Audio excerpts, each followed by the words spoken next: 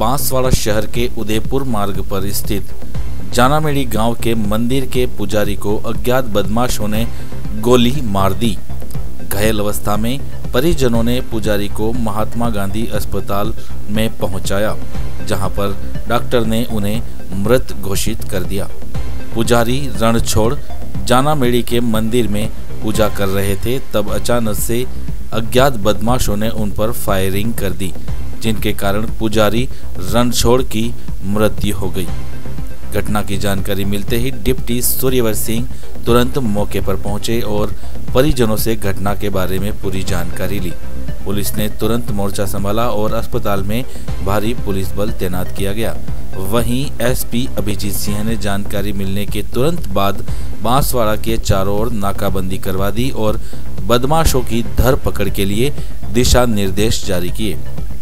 पुजारी रणछोड़ के शव को महात्मा गांधी अस्पताल की मोर्चरी में रखवाया गया है और अपराधियों की गहनता से तलाश शुरू कर दी गई है।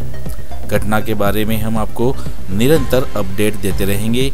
देखते रहिए, लगातार 25 वर्षों से आपके अपने भरोसेमंद गोफन टीवी लोकल न्यूज़ चैनल को। आशीष गांधी के साथ रवि राठौड़, गोल्डी गोफन टीवी बांसवाड़ा। रणछोड़ नाम है। हाँ। और उनके पिता का? राम जी राम जी कहाँ के रहने वाले? जाना मेढ़ी जाना मेडी क्या हुआ इनको?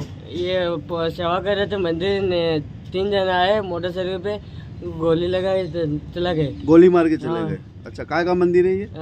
काल भैरव मंदिर।